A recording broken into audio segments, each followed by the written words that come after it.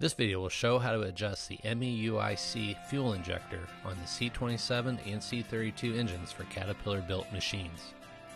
Refer to KENR 9886 in the test and adjust manual for the entire procedure.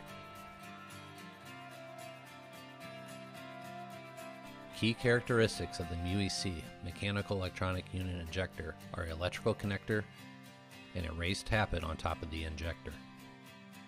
We'll begin by setting the engine to TDC for the number one piston.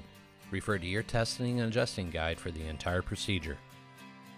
We'll begin by setting injectors for 4, 5, 6, 9, 11, and 12. We'll begin by loosening the lock nut.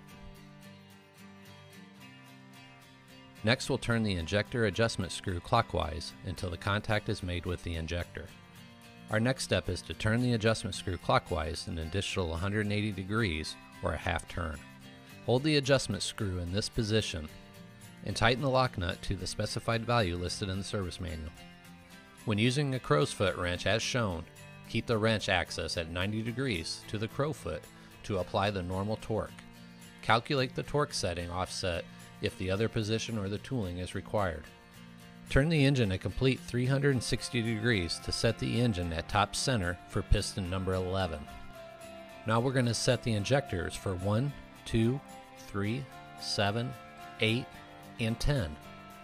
Follow the same adjustment procedure for these injectors. If the injector setting process is being completed due to an injector replacement, ensure that the trim codes are updated with Cat Electronic Technician.